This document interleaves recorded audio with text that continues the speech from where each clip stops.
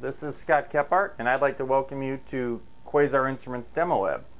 Today we're going to be looking at the Extragene EG9600 PCR thermocycler. Uh, the unit has a very solid construction to it. It does have a heated lid. The heated top is also adjustable in terms of height. So you have a setting for the 0.5 mil tubes the 0.2 mil tubes with a domed cap, 0.2 mil tubes with a flat top, and 384 well plates for the optional 384 well plate block. The standard heating block will hold both the 0.2 mil PCR tubes as well as the 0.5 mil uh, micro tubes.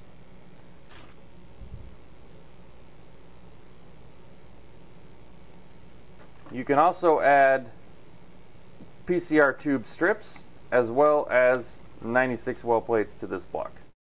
It does have interchangeable heating blocks, so you can select the appropriate heating block for your experiment. The instrument is very easy to operate. You have your file menu for your experimental settings, your instrument setup settings, your lid temperature settings, and your gradient settings.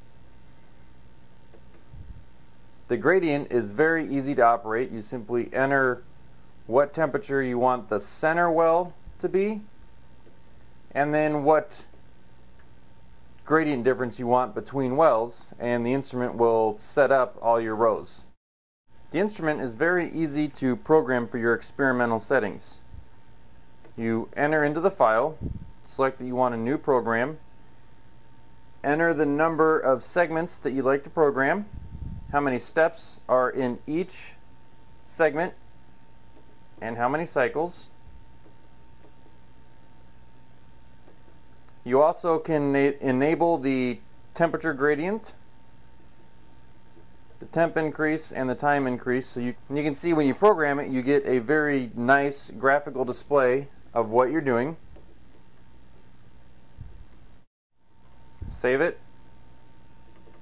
Enter a file name. You can run the file directly from this menu or if you came to the instrument in the morning you would enter the file menu select which program you want to run you can run it directly from there or you can enter the program to see what the program is and then run it from this menu.